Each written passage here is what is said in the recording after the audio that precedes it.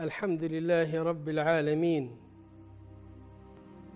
والعاقبة للمتقين ولا عدوان إلا على الظالمين وأشهد أن لا إله إلا الله وحده لا شريك له الملك الحق المبين وأشهد أن سيدنا وأستاذنا وحبيبنا محمدا عبد الله ورسوله. الصادق الوعد الأمين. اللهم صل وسلم وبارك عليه وعلى آله وأصحابه الطيبين الطاهرين الغر الميامين وزوجاته أمهات المؤمنين وخلفائه الراشدين وبقية العشرة المبشرين والسابقين الأولين وأهل بيعة الرضوان والبدريين والمهاجرين الصادقين والأنصار المفلحين وعموم الصحابة أجمعين والتابعين وتابع التابعين وتابعيهم بإحسان إلى يوم الدين وارض عنا معهم برحمتك يا أرحم الراحمين والسابقون الأولون من المهاجرين والأنصار والذين اتبعوهم بإحسان رضي الله عنهم ورضوا عنه وأعد لهم جنات تجري تحتها الأنهار خالدين فيها أبدا ذلك الفوز العظيم. أما بعد فيا إخوة الإسلام أحييكم بتحية الإسلام. تحية من عند الله مباركة طيبة. فسلام الله عليكم ورحمته وبركاته. عنوان هذا الدين الإيمان.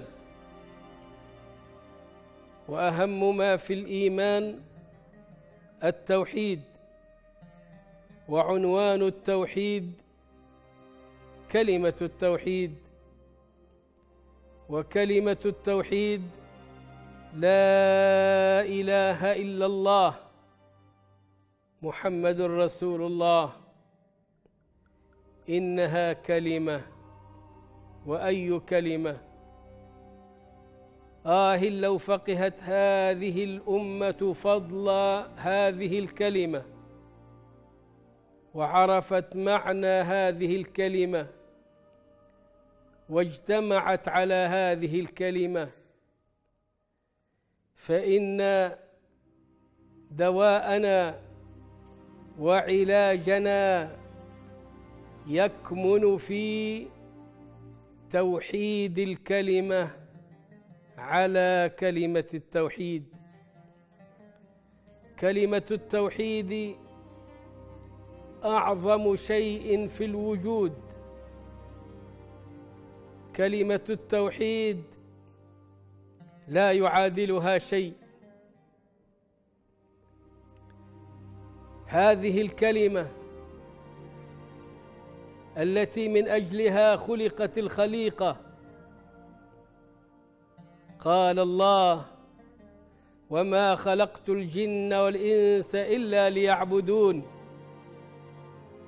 من أجلها أرسل الله الرسل وأنزل الكتب. وما أرسلنا من قبلك من رسول إلا نوحي إليه. أنه لا إله إلا أنا فاعبدون. من أجلها تنقسم الخليقة إلى مؤمنين وكفار وأبرار وفجار فريق في الجنة وفريق في النار. والسر يكمن في كلمة التوحيد من نفيها في فهمها من عدم فهمها. آه لو عرفت الأمة فضل هذه الكلمة وعاشت في ظلالها وأدركت معناها واجتنبت نواقضها. لا إله إلا الله يقول الله جل في علاه كما في الحديث القدسي. قال موسى يا ربي علمني شيئا أذكرك به وأدعوك به. قال يا موسى قل لا إله إلا الله. قال يا ربي كل عبادك يقولونها إنما أريد شيئا تخصني به. قال يا موسى قل لا إله إلا الله.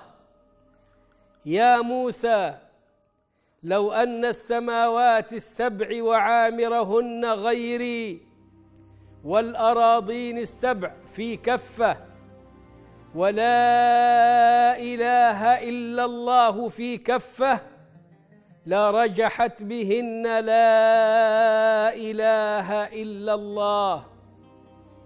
إنها أعظم شيء وأثقل شيء لدرجة أنها أعظم من السماوات والأرض. لو أن السماوات السبع وعامرهن غيري أي من الملائكة وسائر المخلوقات والأراضين السبع وما فيها من المخلوقات لو أن السماوات السبع وعامرهن غيري والأراضين السبع في كفة ولا إله إلا الله في كفة لرجحت بهن لا إله إلا الله. نعم إنها كلمة عظيمة متى قيلت بحقها. فمن قال لا إله إلا الله بحقها دخل الجنة. لا إله إلا الله بها تدخل الإسلام. فمن قال لا إله إلا الله فهو مسلم معصوم الدم والمال. لا إله إلا الله بحقها تدخل بها الجنة. من مات وهو يعلم أنه لا إله إلا الله دخل الجنة. من قال لا إله إلا الله موقنا بها من قلبه دخل الجنة. من قال لا إله إلا الله يصدق قلبه لسانه ولسانه قلبه دخل الجنة. بلا إله إلا الله تنال الشفاعة بإذن الله. قال أبو هريرة يا رسول الله من أسعد الناس بشفاعتك يوم القيامة؟ قال يا أبا هريرة ما ظننت أن أحدا سيسألني عن هذا السؤال قبلك. لما رأيت من حرصك على الحديث يا أبا هريرة أسعد الناس بشفاعتي يوم القيامة؟ من قال لا إله إلا الله مخلصا من قلبه. لا إله إلا الله. إذا كانت خالصة من القلب فإنها تكون سببا في تكفير السيئات ورفعة الدرجات. وحديث البطاقة حيث يؤتى برجل له تسعة وتسعون سجلا مد البصر من الذنوب والسيئات. توضع في الميزان ويسأل العبد أتنكر من هذا شيئا؟ يقول لا يا رب. أظلمك كتبتي؟ يقول لا يا رب. فتوضع هذه السجلات لسيئاته. فيقال له ألك عندنا شيء؟ فيقول لا يا رب. فيقول الله له لا. بل لك عندنا حسنة. لا ظلم اليوم. لا ظلم اليوم. فتخرج له بطاقة. كتب فيها كلمة التوحيد.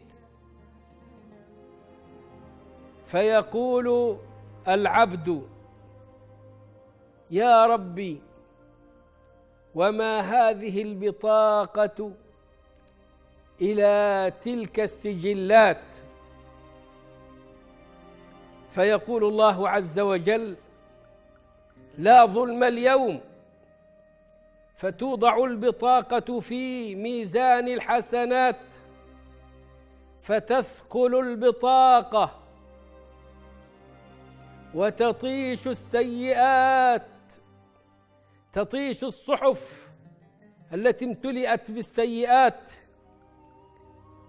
وتثقل البطاقة فإنه لا يثقل. مع اسم الله شيء. وهذا الحديث يذكر في فضل كلمة التوحيد على أن يفهم فهما صحيحا دقيقا.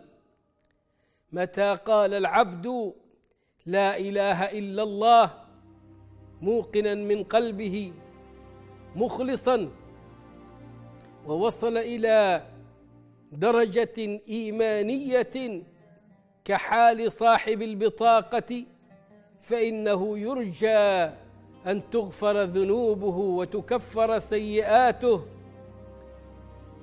وهذا الحديث إن دل على شيء فإنما يدل على فضل كلمة التوحيد. في أمر مرده إلى علم الله عز وجل وحكمته. كلمة التوحيد بها النجاة من الشرك وبها النجاة من النار. قال عليه الصلاة والسلام ثنتان موجبتان. من مات لا يشرك بالله شيئا دخل الجنة. ومن مات يشرك بالله شيئا دخل النار.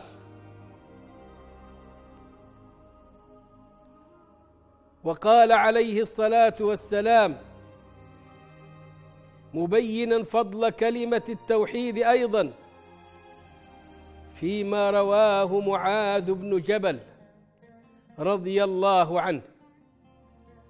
قال كنت رديف النبي صلى الله عليه وسلم. فقال يا معاذ أتدري ما حق الله على العباد؟ وما حق العباد على الله؟ قلت الله ورسوله أعلم. قال عليه الصلاة والسلام فإن حق الله على العباد أن يعبدوه ولا يشركوا به شيئا. وإن حق العباد على الله ألا يعذب من لا يشرك به شيئا. قال معاذ قلت يا رسول الله أفلا أخبر الناس قال لا تخبرهم فيتكلوا. فما أخبر به معاذ إلا عند موته تأثما أي خشية الإثم من كتمان العلم. وهو مثلما فعل النبي صلى الله عليه وسلم مع أبي هريرة رضي الله عنه. حين افتقد الصحابة رسول الله صلى الله عليه وسلم وخرج نفر من الصحابة يبحثون عنه فكان أسرعهم أبا هريرة رضي الله عنه. فكان أسرعهم أبو هريرة رضي الله عنه حيث دخل الحائط أو البستان على النبي صلى الله عليه وسلم فوجده جالسا على حافة البئر ومعه أبو بكر رضي الله عنه وعثمان رضي الله عنه. وقد أخبر أبو هريرة النبي عليه الصلاة والسلام بأنهم قد افتقدوه أنهم خشوا عليه.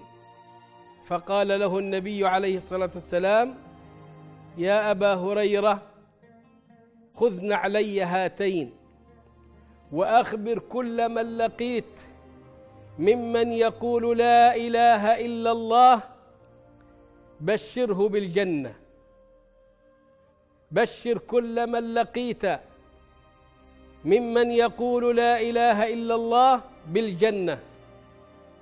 فخرج أبو هريرة ومعه نعل النبي صلى الله عليه وسلم فلقيه عمر إلى أين يا أبا هريرة؟ فقال له أمرني النبي عليه الصلاة والسلام أن أبشر كل من لقيت ممن قال لا إله إلا الله بدخول الجنة. فضربه عمر بن الخطاب رضي الله عنه حتى خر أبو هريرة على إسته أي قعد على الأرض لما عند عمر من قوة معروفة. ثم عاد أبو هريرة إلى النبي عليه الصلاة والسلام شاكيا وباكيا. يقول له يا رسول الله لقيت أول من لقيت عمر فأخبرته فضربني حتى سقطت على إستي على الأرض. فقال النبي عليه الصلاة والسلام لعمر ما الذي حملك على ما صنعت يا عمر؟ قال يا رسول الله دع الناس يعملون. لا تخبرهم فيتكلوا خلهم يعملون. فقال النبي عليه الصلاة والسلام لما أدرك وجهة نظر عمر أنه ليس كل الناس يفهم القضية فهما كالذي ينبغي أن يكون فقال عليه الصلاة والسلام خلهم يعملون خلهم يعملون. نعم فضل كلمة التوحيد عظيم. لو لم يكن لها فضل سوى أن صاحبها لا يخلد في النار لكفى. فقد يفعل المسلم امورا من العظائم أو الكبائر أو الموبقات تستوجب دخوله النار فيدخل النار ويكون من عصاة هذه الأمة ويكون في طبقة العصاة التي هي أعلى دركات النار. ثم يفتح الله عز وجل باب الشفاعة فبعد أن يشفع النبيون ويشفع الشهداء ويشفع المؤمنون يقول الله عز وجل لم تبق إلا شفاعة أرحم الراحمين ثم يقول الله عز وجل وعزتي وجلالي وعظمتي وكبريائي لأخرجن من النار. من قال لا إله إلا الله مخلصا من قلبه يوما ما. فاللهم ارزقنا إخلاص التوحيد وأحينا على كلمة التوحيد وأمتنا على كلمة التوحيد وأدخلنا بها الجنة من غير سابقة عذاب أو مناقشة حساب. وصل اللهم وسلم وبارك على النبي الأواب وآله وصحبه أجمعين. والسلام عليكم ورحمة الله وبركاته.